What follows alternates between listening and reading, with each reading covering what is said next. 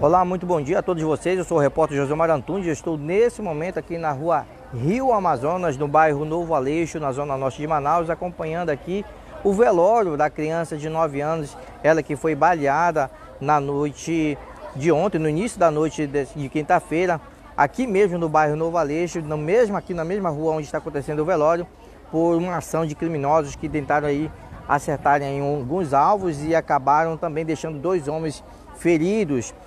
Aqui no, no, velório está acontecendo o velório de Renan Souza da Gama, de 9 anos, ele que foi baleado com um tiro no tórax e ele foi socorrido imediatamente aí para o Joãozinho, uma unidade hospitalar anexa que cuida de crianças, no caso de emergência de crianças. Ele foi levado até a unidade hospitalar da criança, mas ele não resistiu ao ferimento na região do tórax e acabou vindo a morrer nessa unidade hospitalar e o corpo foi removido do Instituto Médico Legal, onde passou por exame de necrópsia e posteriormente já sendo feito aí o velório de, já que está sendo marcado já por comoção entre amigos e familiares. A imprensa não pôde ter acesso aí às dependências da igreja onde está acontecendo o velório da criança de 9 anos, aqui na igreja Assembleia de Deus.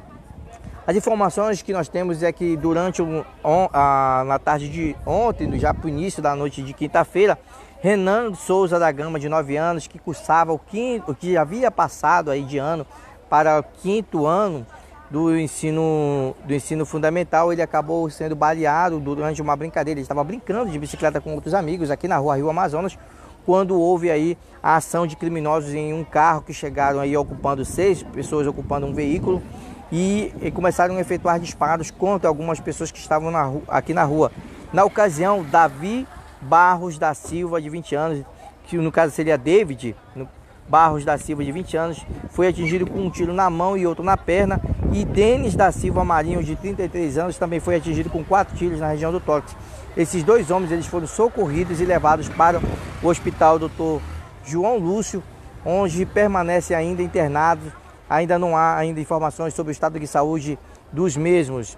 As informações ainda há pouco repassada pela irmã da vítima aqui do Renan Souza da Gama, de 9 anos, é o, é o que consta no, no, relatório do Instituto Médico Legal e também no relatório da Delegacia Especializada em Homicídio e Sequestro, Renan Souza da Gama, que tinha 9 anos e havia passado então para o quinto ano, segundo as informações da irmã, que não quis se identificar e também pediram que a imprensa não fizesse imagens de dentro da igreja onde está acontecendo o velório, é de que o Renan estava muito feliz, havia comentado para a avó que estava muito contente porque teria, passado de ano para o quinto ano, ia fazer o quinto ano nesse ano de 2020. E aí ele resolveu brincar com outros coleguinhas aqui na rua Rio Amazonas, que durante essa brincadeira ele acabou sendo surpreendido aí por uma bala perdida e acabou morrendo aqui, é, morrendo então no hospital Joãozinho. Ele ainda foi socorrido, mas infelizmente não resistiu e ele foi encaminhado o corpo então para o Instituto Médico Legal. Mais detalhes vocês irão acompanhar no portal Amazonas 1, desculpe, no portal Amazonas 1, onde vocês irão acompanhar todas as, as notícias, tanto de polícia como de política, economia e também do mundo e também da região, de outras regiões do Brasil. Vocês acompanham tudo isso no Amazonas 1, a informação com qualidade.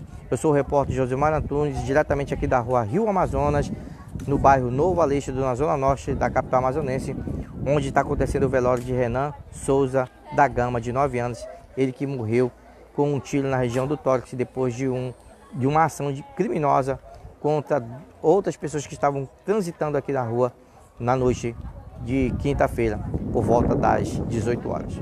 Um forte abraço a todos vocês. Fiquem ligados aí nas informações do portal Amazonas 1, informação de qualidade que pode voltar a qualquer momento em outro ponto da capital amazonense sobre as, as, as notícias factuais que podem que, estar, que estarão acontecendo aqui na capital amazonense. Um forte abraço a todos vocês. Olá a todos vocês que acompanham o portal Amazonas de Informação com Qualidade. Eu estou agora há pouco com o pai do, do adolescente, do, da criança Renan Souza da Gama, de 9 anos, seu Rivanildo, né, seu Rivanildo? É, o senhor estava falando há pouco que seu filho tinha um sonho, né? Um sonho de ser jogador de futebol. Como é que está agora o seu sentimento com a perda do seu filho? Meu o que, filho, que o senhor espera agora? No momento estou muito triste, né, cara, com a perda do meu filho, que perdi uma coisa muito grande, né? Um pedaço de mim, né? Que eu não esperava isso.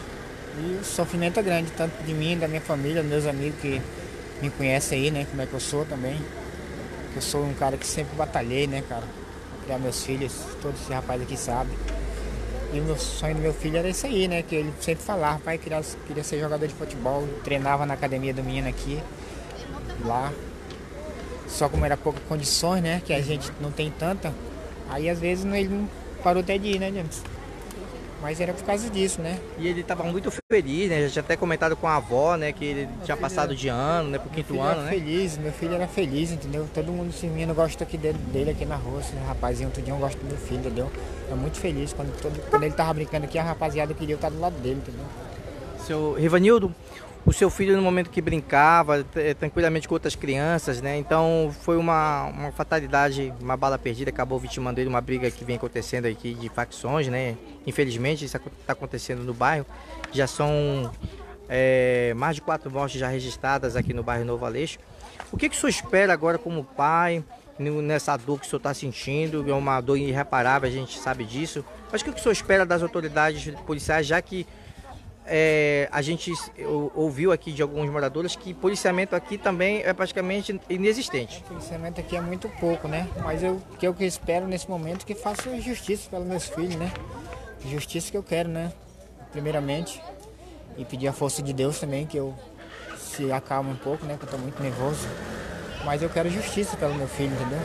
Isso não é coisa que se faça, né? Com uma criança, que nem ele, né? E pode também mais, sonho, né? mais, mais pessoas inocentes podem perder a vida por conta disso, não né? pode outras pessoas acontecer isso que aconteceu com meu filho, né?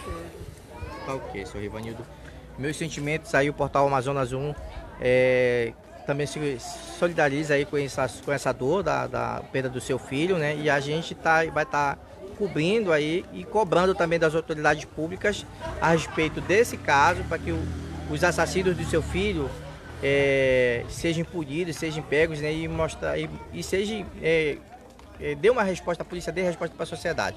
É isso que o senhor espera também, não é isso? Eu espero isso também, que aconteça isso também. Espera a resposta da polícia, né? E da justiça, né? Tá ok, senhor Rivanildo. Muito obrigado. Muito obrigado aí. Meus pêsames aí, o Amazonas 1 agradece, tá bom? A delegacia especializada em homicídios e sequestros dá, já dá início às investigações para tentar desvendar e descobrir quem são esses autores desse homicídio aqui que acabou vitimando aí o, a criança Renan Souza da Gama de 9 anos que tinha o sonho de ser jogador de futebol. É isso, gente. Eu falo aqui em frente à igreja Assembleia de Deus, na rua Rio Amazonas, no bairro Novo Aleixo, Zona Norte, onde acontece aí o velório do Renan, que daqui a por volta de uma hora irá ser sepultado, aí será o trajeto para o cemitério Parque Tarumã, na região do bairro Tarumã, na zona oeste da capital. Eu sou o repórter Josimar Antunes para o Amazonas 1, informação em qualidade.